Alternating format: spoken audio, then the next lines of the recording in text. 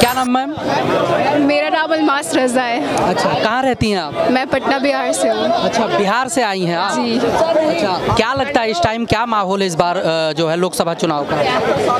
I think Lok Sabha चुनाव का मुझे लगता है इस बार भी बीजेपी जीतेगी। बीजेपी क्यों जीतेगी? लोग उन्हें बहुत ज़्यादा सपोर्ट करते हैं मोदी जी को इसीलिए।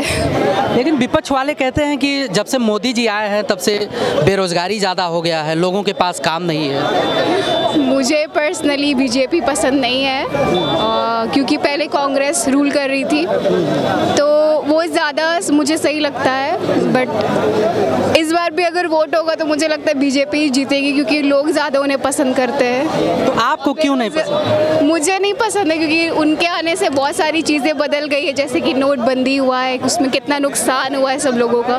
कितने लोगों की जॉब गई है उसमें। सो मुझे लगता है कि बीजेपी को इस बार नहीं जीतना चाहिए। लेकिन जो है आपने कहा कि लोग परेशान हैं लेकिन फिर भी बीजेपी आएगी।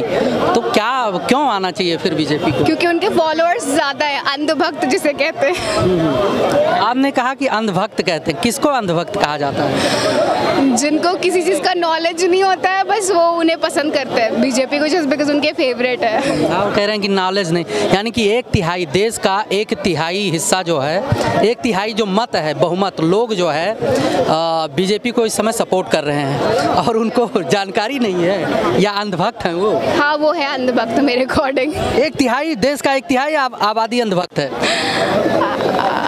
आई थिंक क्योंकि जो भी होता है बस वो लोग वोट दे देते हैं जाके। मोदी का जो योजना है तमाम योजना है खास करके महिलाओं के लिए भी योजना रहा है खास करके मुस्लिम महिलाओं के लिए तीन तलाक का जो मतलब कानून बनाया गया इन सब चीज़ों से सहमत नहीं है? तीन तलाक एक्चुअली मेरी तो शादी नहीं हुई है तो मुझे इस बारे में आइडिया नहीं है। लेकिन अगर ये चीज़ महिला के साथ अगर अच्छा हुआ है तो ये एक बेटर ऑप्शन है उनके लिए। पर ज़रूरी नहीं है कि अगर सौ में अ, कुछ चीज़ें अच्छी हो जाती है तो वो इंसान अच्छा होता है मुझे नहीं लगता। तो मोदी को हटाया क्यों जाए? क्यों मतलब उनको वोट ना करा जाए? क्योंकि करप्शन बहुत ज़्यादा बढ़ गया। करप्शन तो विपक्ष के सभी नेता करप्शन में जो है जेल में जा रहे हैं एक एक करके। मोदी का कोई एक करप्शन बताइए जिसमें आपको लगता हो कि इतना ये करप्शन किया है मोदी जी ने? जैसे कि नोटबंदी हुई? नोटबंदी तो आप बार बार कह रहे हो नोटबंदी के बाद 2019 में पूर्ण बहुमत से भी ज़्यादा मतों के साथ जो है बीजेपी सरकार बनाई। अगर करप्शन होता तो देश जो है देख रहा था क्योंकि जैसे आपके भी मत हैं ऐसे तमाम लोगों के मत हैं तो बहुमत ना मिलता अगर करप्शन होता नोटबंदी। उसके बावजूद उसके बावजूद मुझे अब कुछ नहीं याद आ रहा अब रहने दो। अच्छा चलिए आपका ये विचार था वैसे ठीक है लेकिन जैसे टाइम हो जाएगा मुझे अब जाने दो।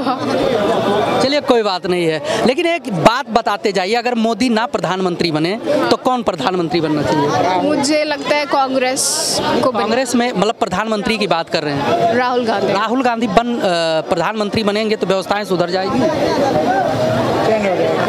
मुझे तो ऐसा नहीं लगता कि कोई भी बनेगा, उस सारी चीज़ें सुधर जाएगी बट फिर भी किसी को तो बनना ही है। तो आई थिंक राहुल गांधी बने तो वो सही रहेगा। चलिए बहुत बहुत धन्यवाद, कीमती